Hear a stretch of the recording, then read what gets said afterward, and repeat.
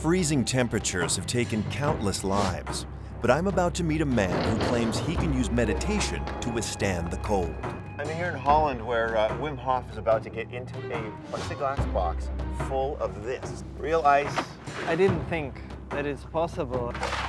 With temperatures as low as 19 and a half Fahrenheit, it's a potentially deadly challenge. The ice box actually is a very strong exercise, so it's a big challenge. Wim claims he can train anyone to become immune to the potentially lethal effects of cold water, so I've been invited to join his class. You got to be mentally prepared to uh, be able to release hormones in the body and make it strong. I just want to check the temperature. I got a little thermometer in the water here. Uh, six degrees Celsius, which is about 42, 42 and a half degrees Fahrenheit. Uh, there's no way around this. This is cold. As this is my first lesson, Wim advises that I wear a wetsuit. Okay, don't think. Let's do this. I guess I'm not gonna need this, right? No. right? Okay, it's chilly. Long breaths, Go.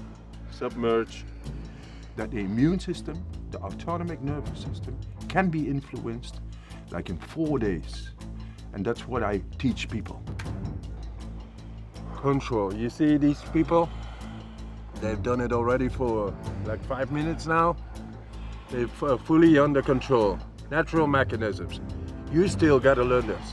Long breaths. When you get into icy water, for example, brings you really to a limit. It's really dangerous for your life. These people are not wearing wetsuits. At least I've got, you know, a little bit of protection from the water. You can't fake this control. After just a few minutes, I've had enough. Amazingly, Wim's trainees last an additional 15 minutes. I can teach people to do what I do.